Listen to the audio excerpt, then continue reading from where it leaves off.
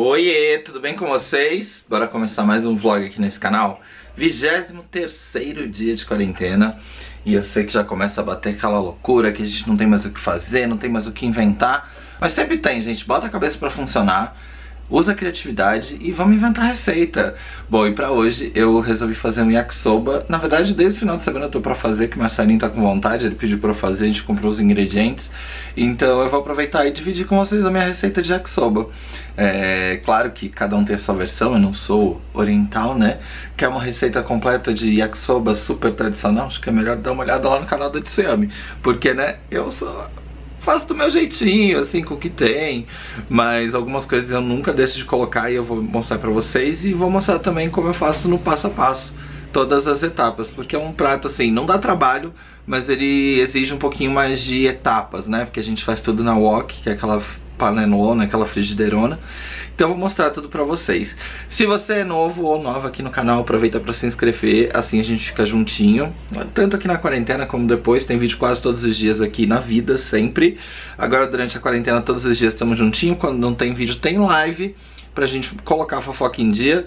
E é isso, bora começar a cozinhar que eu tenho que picar todos os legumes, que é a parte mais trabalhosa dessa receita, para depois a gente começar a fazer. Então, Vamos lá comigo. Ó, essa aqui é o wok que eu falei pra vocês. A minha tá meio sujinha, mas é... isso aqui que vocês estão vendo não é sujeira não, tá, gente? É, é, que tem muito enferrujado também, mas eu vou lavar ela agora, que eu uso muito raramente. Então vou lavar. Enquanto isso, nós temos aqui já, deixei a espagueteira, Dona Chefa maravilhosa. Vou deixar os links, gente. Dona Chefa vende no Amazon. Pra quem não sabe, é da fábrica é, do pai do Davi, né? Essa panela também, a wok não. Eu nem sei se. Eu acho que eles têm wok sim. Preciso pedir uma wok nova pro Davi, inclusive. Vou mandar o WhatsApp pra ele e vamos perguntar se eles têm wok. é, mas no Amazon vende, tá? Eu vou deixar o link aí pra vocês da página principal do Amazon. Que daí vocês podem encontrar todas as panelas Dona Chefa e os preços são ótimos e entrega em casa. Então aqui, ó, já deixei meu brócolis dando uma cozidinha. E agora vou lavar essa panela e começar a picar os legumes. O brócolis não precisa cozinhar muito, tá? Porque depois ele ainda vai fritar e tal. Então eu deixei ele aqui só um pouquinho para ele dar uma é, ferventada e uma amolecidinha. Para depois a gente começar a fritar os legumes. Deixa eu lavar isso aqui pra gente picar as coisas. Tô montando todo o esquema aqui de tripé e tal, porque tava usando ali na sala. Eu tô acostumado que a criança anda de cueca pela casa, que eu falei, nossa, mostrei, mas ele está de short. É, então eu tava usando o tripé ali que a gente fez live esses dias e tal, mas deixa eu montar aqui pra gente fazer essa. cortar nossos legumes. O. ó, limpei o máximo que deu da wok. Mas ela tá. Essa wok também, gente, já tá mais velha que não sei o que. É do outro apartamento ainda. E a gente pagou acho que 20 reais nela. Foi tipo mega promoção, assim. Realmente precisamos trocar, não é mesmo? Mas como é uma coisa que a gente quase não usa, dá pra se virar por hora. E eu já vou desligar o brócolis pra ele ficar aqui na aguinha quentinha e terminar de cozinhar pra não ficar muito molenga. Bom, então além do brócolis que tá ali, né, cozinhando, nós temos a selga, cebola, pimentão, gente, eu achei esses pequenininhos tão bonitinhos, então eu vou usar eles que acho que vai ficar charmoso também é, na receita, e cenoura. Então, bora picar esses aqui primeiro.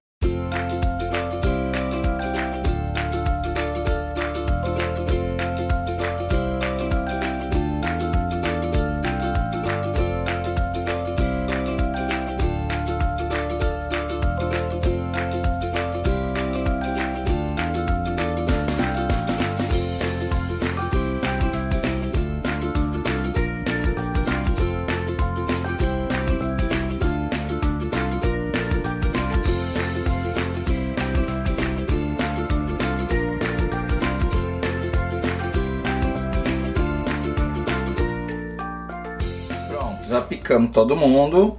Deixa eu ligar a água do macarrão. Opa, errei a boca. e aí, nós vamos começar...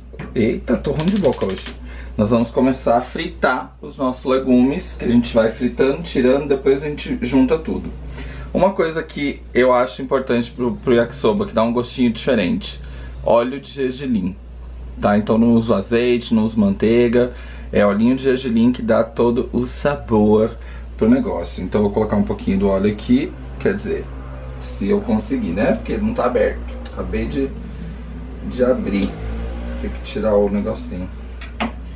Vamos ver. Ainda não. 10 a 0. Agora foi. Então, ó, vou botar um pouquinho do meu solinho de gergelim. Vou começar com a cebola e a selga, ó. Cebola em pétala e a selga também não muito pequenininha, tá?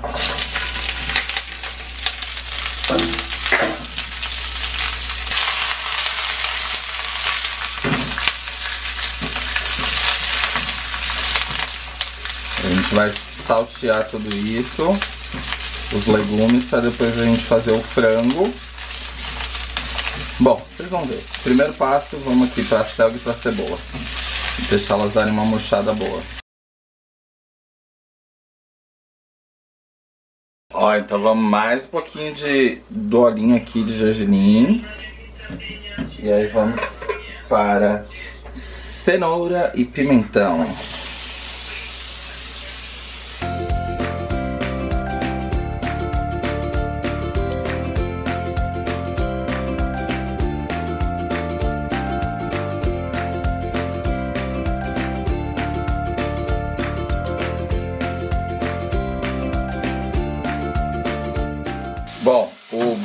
Como a gente já tinha cozinhado, vejam que eu não usei tudo, tá? Deixei um pouquinho guardado ali, que depois eu como como salada.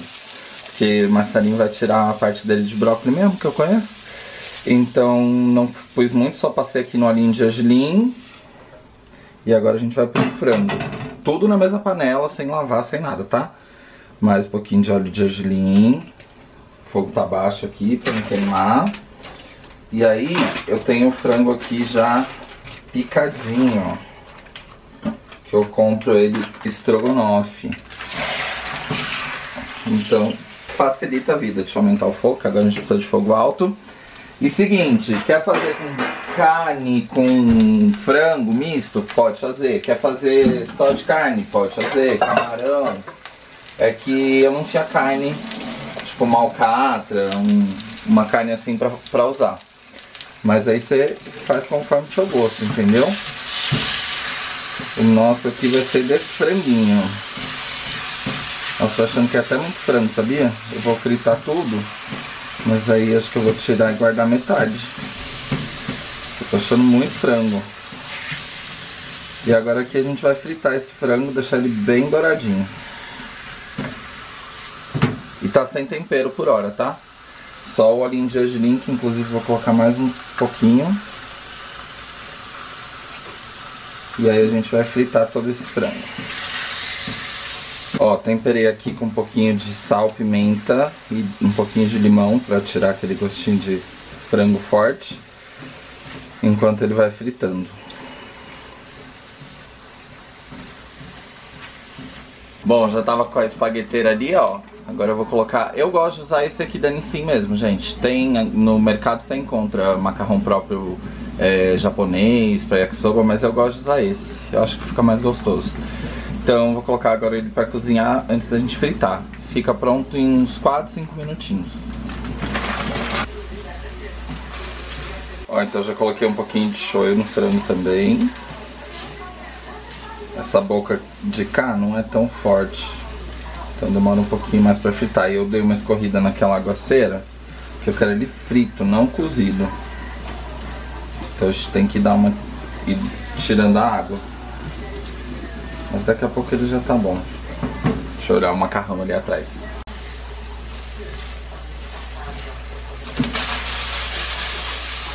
Vou colocar mais um pouquinho de shoyu. E vou colocar a pimenta dedo de moça picadinha. Sem semente, tá, gente? Vamos lá.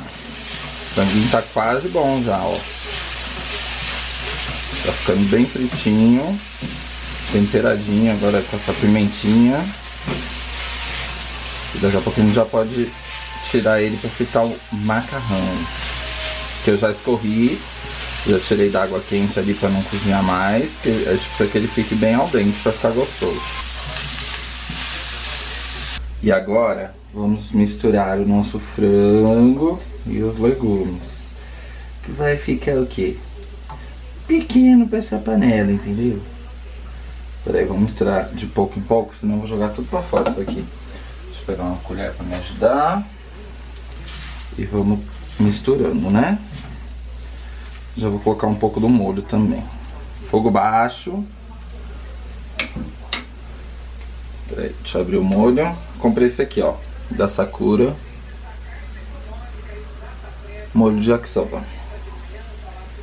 Já vem pronto.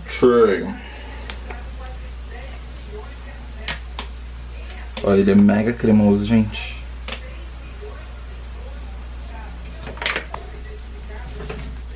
Vou colocar mais.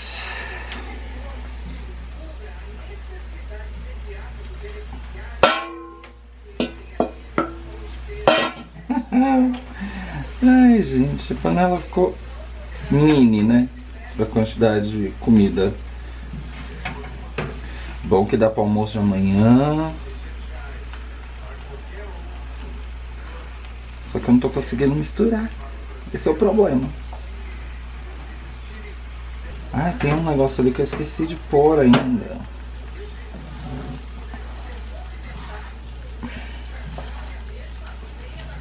Ah, tá indo. Tá misturando. Tem que ter paciência.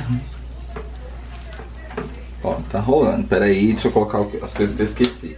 Acabar com esse shoyu. Já tinha acabado. Botar mais um pouco pro nosso molho. E vou colocar uma coisa que eu tenho e que eu acho que dá um tchan.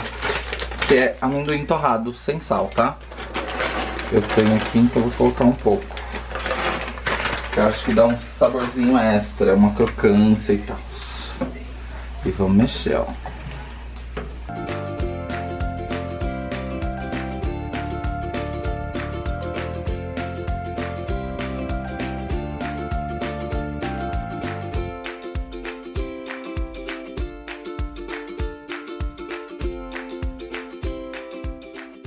E aí? Vamos comer. Vai comer no potinho? E no hashi, é chi- chinês, né? Japonês? Hum, Chinês? É, na verdade é oriental, né? É chinês. É chinês? Eu que sou chinês. Hum, hum, muito bom. Ficou bom? Eba!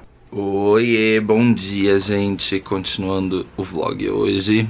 E cara, eu travei de vez. Senhor, pra eu levantar da cama hoje foi um sacrifício. Eu não conseguia colocar o pé no chão. Você acha que tá doendo assim, num grau, babadeiro.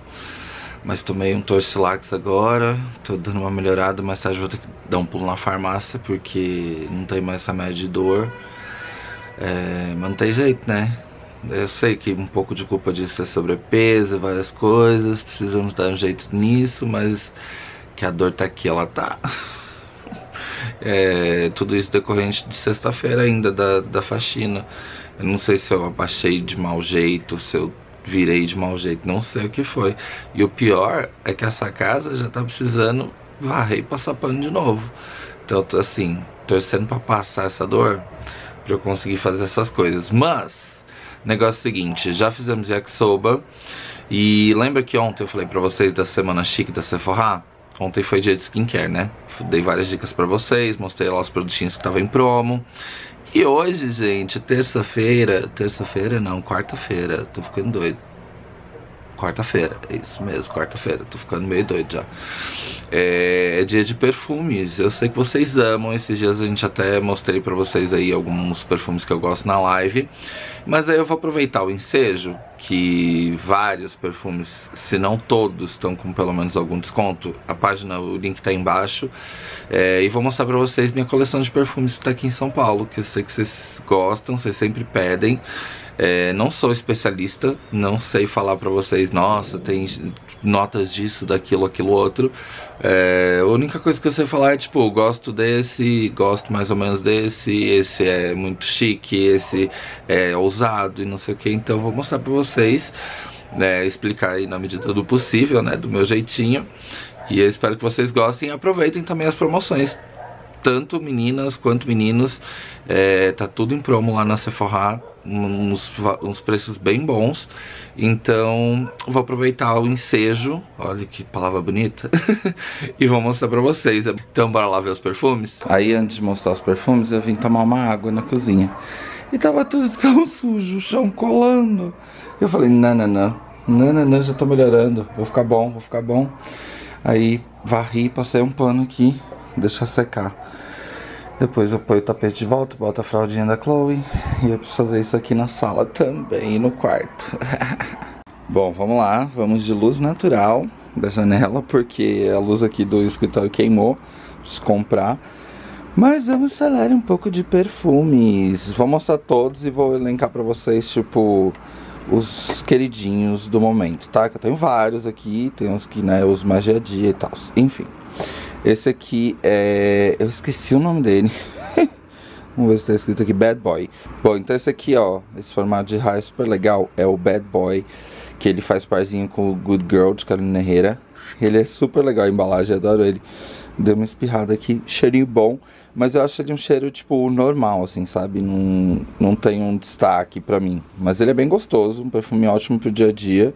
É, o custo-benefício é excelente também. Então, fora que a embalagem é linda, né?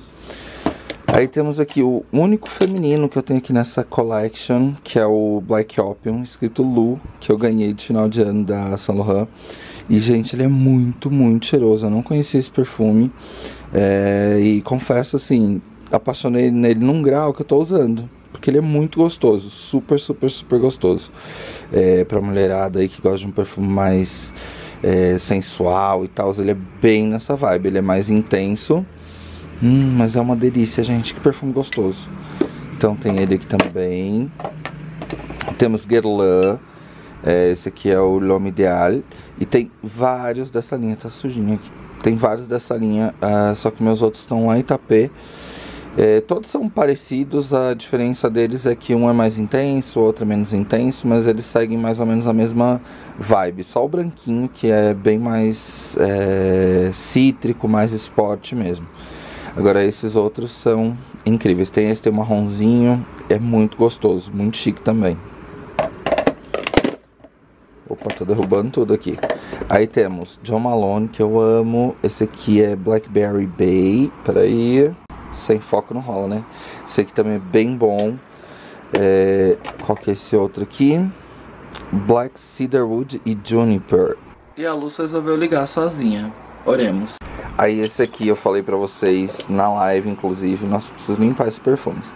Esse é o Voyage de Hermès, é maravilhoso esse perfume, gente, super chique, super gostoso, ótimo pro verão, ótimo pra qualquer situação, na verdade. Ele é muito, muito, muito gostoso. Viciei e apaixonei, ó, tanto que já tá quase no final. E é um perfume um pouco mais caro, mas esse aqui não dá mais pra ficar sempre, porque tem que ter sempre na coleção, porque ele é muito bom. Aí temos aqui Versace Eros Red, que é uma novidade, foi lançado é, recentemente, Eros Flame, que ele é diferente. Eu tenho o Eros normal aqui, ó, que é inclusive o perfume que eu tava usando no dia que eu conheci o Marcelinho. Ficou marcado, até hoje a gente fala disso. É, é uma delícia esse perfume. Eu prefiro essa versão do que a Red Flame. Mas os dois são bem gostosos. Mas o azul ainda é meu queridinho. Light Blue masculino, Dolce Gabbana. Acho que é o único perfume Dolce que eu tenho e também é muito gostoso. Eu acho ele tipo super verão, assim, sabe? E esse é o pequenininho é bom que eu carrego sempre na necessaire. Quando eu vou viajar, tipo, pra chácara, alguma coisa, ele sempre vai comigo. Aí temos Mr. Burberry, que é maravilhoso. Amo também. Tanto que eu já usei bastante dele. E é um perfume super, super, sofisticado, ótimo, super versátil também, ótimo pro dia, ótimo pra noite. É um perfume bem, assim, intenso na medida ideal, na verdade, mas incrível, super chique. Gosto bastante também do Mr. Burberry. Aí temos aqui um Giorgio Armani e a Armani Code Colônia. Todos os Armani Codes também adoro. Eu tenho é, um preto lá Itapê, o Marcelo tem alguns aqui também que ele gosta. Adoro esse aqui. Peraí, deixa eu relembrar o cheirinho dele, que faz tempo que eu não uso. Ele é mais fresquinho, assim, sabe? Cheirinho de banho tomado, gostoso. É, então, esse aqui é o Armani Code Colônia. Chuan Chu Man, um clássico que eu amo. Tenho vários também. E Ai, amo. É aquele cheiro que nunca sai de moda. Ótimo pro dia, ótimo para um, uma pessoa jovem. É, não usaria tanto ele para uma noitada que eu queira arrasar. porque eu acho um perfume comum, sabe? Mas pro dia a dia, pra, enfim, trabalhar e tal, é maravilhoso. Eu amo esse perfume. Agora, se você gosta de um perfume masculino, aquele cheiro de macho, é, o Polo Blue, sem dúvidas, é uma ótima opção para você. Esse aqui é até uma versão especial que eu não vou conseguir dizer agora para vocês qual é. Mas Marcelo tem o Polo Blue normal, e, enfim, todos eles são incríveis. Super perfume gostoso. E falando em Polo, tem aqui também o Polo Black, que é também incrível. Na verdade, esse aqui é o Red numa versão especial, Red Extreme. É, o Paulo Black ele é todo preto. Também é muito, muito, muito gostoso. Cheiro de macho, cheiro de. Ai, ai. Ator global, assim, daqueles maravilhosos. Aí esses aqui, gente, não vou prolongar muito, porque não tem na Sephora, né? Chanel, Blue. E esse aqui é o Alu Home Sport, que eu amo também. Mas já tá no finalzinho. Aí nós vamos para esse da Givenchy, que é incrível, o Gentleman. É, também é um perfume macho, um perfume que toda vez que eu uso alguém fala, nossa, que perfume bom, qual é? é tem várias versões também, mas essa aqui, a intensa, é tipo, maravilhosa. Ah, os do Valentino estão todos Itapê, preciso trazer um pra cá, que também é muito gostoso. É, vou trazer um pra cá porque não ficaram todos lá. Aí tem esse aqui da Prada, que é o uh, Lom Prada. Não dá pra ler, mas enfim. É o Lom Prada. Todos os perfumes da Prada têm a mesma vibe, gente. Pra mim, não tem muita diferenciação entre um e outro. É um cheirinho fresco, um cheirinho agradável, é elegante, mas sem grandes impactos, sabe? Não é tão diferenciado. É um perfume bem, tipo, fresquinho, assim. Cheirinho de banho tomado também, eu diria. Mas é uma delícia. É um, um dos perfumes que eu mais uso. Tipo, tomei um banho, quero dormir cheiroso, eu uso ele porque é maravilhoso, um perfume ótimo para dia a dia também. É, e é Prada, né? Chique, pleno, maravilhoso. Aí temos aqui, é, esse aqui também não adianta falar, porque ele foi edição limitada, que é o CK One versão de verão. Já tem um tempinho. Esse aqui é L'Occitane, que eu adoro também, um cheirinho super fresco, ótimo para verão. Eu sempre tenho esses, tipo, minhas fragrâncias de verão e outras mais pro inverno. E essa aqui com certeza é uma que tá sempre comigo no verão. Temos o Lemali é, I Love Gucci, que foi aquela coleção dos super-heróis. Também acho que não tem mais. Mas o Lemali é um perfume incrível. O meu também, o Lemali normal tá lá Itapê. Mas é ótimo, né? Um clássico de Jean Paul Gaultier. Temos aqui Carolina Herrera C8. Uh, também esse aqui foi numa versão especial. Nossa, não sei porque eles colocam um adesivo, não dá pra ler. Mas tá, eu vi no site da Sephora que a versão normal tá em promoção. E eles são ótimos também. Esse aqui, gente, é outro perfume que você fala macho, entendeu? Nossa senhora. É o Waka de Jaw. Esse aqui é o Eau de Parfum, mas o Eau de Toilette também é maravilhoso. É um clássico da perfumaria masculina, né? Mas que até hoje vale a pena. É muito, muito, muito, muito gostoso, clássico, é, para dia, para noite, para qualquer ocasião. Esse aqui é o Angel masculino de Thierry Mugler. É, é, um perfume muito diferente, é um perfume super exótico, assim como o Angel. Ele tem um fundinho mais adocicado, mas é bem gostoso. Assim, se você gosta de perfumes diferentões, que a gente já vai chegar aqui na parte dos diferentões, é, esse aqui é um ótimo perfume para noite, super marcante, enfim, é um bom perfume também. Outro clássico da perfumaria são os perfumes da Montblanc. É, esse aqui é o. A memória tá mara, não? Uh... E, gente, não tá dizendo aqui, esqueci. Eu esqueci como é que chama esse aqui. Mas enfim, é da Montblanc. Outro da Montblanc que eu amo é o Individual, que foi meu primeiro perfume assim importado da vida. Meu cheirinho. É, e esse aqui lembra muito o cheiro da Abercrombie, que é um clássico também. O meu da Abercrombie também tá em Tapsirica. Eu preciso trazer meus perfumes. É, mas esse aqui, maravilhoso. Cheiro de macho, cheiro de riqueza, enfim, amo. Aí temos algumas versões do Chuanchu VIP. Esse aqui é o Chuanchu VIP Black Extra. Tem essa embalagem aqui toda grafite e tal. E eles são parecidos. Esse outro é o Chuanchu Party Fever. É, tem várias versões, todos são bem gostosos, bem dia a dia, é, perfumes bem versáteis assim. Mas como eu disse, não são. É, eu voltaria no caso do Bad Boy, são perfumes menos impactantes, sabe? Não tem tanto diferencial. Mas você está procurando um bom perfume para o dia a dia, daquele que você vai usar e gastar sem dó, porque eles não custam também tão caro, pode investir num desse. Aí aqui a gente vai para a parte da riqueza, a parte mais especial dessa collection que está aqui, que são os perfumes do Tom Ford. Tem o Victorine Rolf aqui também, que é o Spice Bomb. Esse aqui é antigo, mas também é um perfume assim muito gostoso, diferentão, um cheiro super é, temperado, digamos assim. Você sente que tem é, bastante condimento na, na, no cheiro, sabe? Muito gostoso. É, o feminino dele também faz muito sucesso. Mas, enfim, eu amo esse perfume. Esse é super antigo, pra vocês verem como eu gosto, eu economizo. Enfim, aí temos aqui Tom Ford. Temos dois dessa coleção a The Parfum dele, que é, hum, são os mais caros. Mas esse aqui é o Neroli Portofino, que é um cheirinho bem praiano, assim, bem é, verão. Aí temos o Black Sweat, é isso? White Sweat. Que também eu brinco que é um cheirinho de limpeza, um cheirinho de limpo, sabe? De banho tomado. Mas um banho tomado, assim, com upgrade, né? Um upgrade da riqueza. Aquele banho tomado que você tomou em Dubai, num chuveiro maravilhoso, com uma vista incrível que é o que você sente quando você passa esse perfume depois. Super versátil também, ótimo para o dia a dia, não, não é um perfume que impacta demais, mas ao mesmo tempo tem é, um mistério, assim, muito gostoso. É um, um dos últimos que eu é, recebi de Tom Ford, muito, muito, muito bom. Aí nós temos o Black Orchid, que é um queridinho, super diferentão também, mas maravilhoso. Black Orchid, assim, incrível. Você tem que provar esse perfume uma vez na vida, pelo menos. Porque ele é diferentão.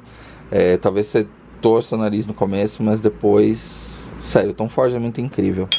É, Extreme também foi meu primeiro perfume de Tom Ford que eu sou apaixonado. É, também um perfume assim, quando eu quero arrasar, que eu sei que eu vou estar tá causando na noite, esse é o perfume que me empodera, digamos assim. É um perfume que realmente me dá um up, me deixa maravilhoso. E aí tem, no, o Tom Ford tem essas versões aerosol. Esse aqui é o Costa Azurra, que também é outro, outra fragrância desses assim. E eles são menos intensos, mas eles são tão bons quanto, viu? Eles são mais baratos, é, all over body spray, e, mas eles duram bem, tipo, o cheiro fica mesmo, assim. É como se fosse um eau de toilette. Então eu tenho dele e tenho o Neroli Portofino também, que é o kitzinho desse. E é isso, gente. Essa coleção de perfumes que tá aqui em São Paulo. Os da Low, Low E, Low V, Low Bev, enfim. É, que o Marcelinho roubou o meu outro, que vieram dois, um masculino e um feminino. Aí cada um ficou com um. Aí depois ele se apaixonou tanto que eu falo que ele roubou, mas eu dei pra ele. É outro que compensa muito. Dá uma olhada hoje no site da Sephora, que também tá em promoção. Vi que tem Jador da Dior, tem vários da Lancôme. Enfim, vários perfumes em promoção. Givenchy, é, os femininos da Givenchy são incríveis. Enfim, o link tá embaixo, aproveitem. Dei uma geral aqui nos perfumes que estão em São Paulo. Me contem qual é seu favorito aí embaixo também. Espero que vocês tenham gostado. Porque se tem uma coisa que vocês pediam há muito tempo, era isso, pra eu mostrar todos os perfumes que estavam aqui. Gente, eu acabei de perceber que eu esqueci desse, ó. O Stronger With You, de George Armani. Também muito gostoso. Mas se for pra escolher um do Armani, eu fico com Aqua de Dior. Que é, tipo, muito bom. E é isso, eu espero que vocês tenham gostado do vídeo de hoje. Misturamos aí um pouquinho de receita, um pouco de perfume, dei a dica das promos e vamos encerrar por aqui, porque eu preciso editar esse vídeo. É, e aí no próximo vlog vocês acompanham o dia de hoje completinho, combinado? Um beijo pra vocês, amo vocês, tamo junto, fiquem bem, fiquem em casa e até amanhã. Tchau!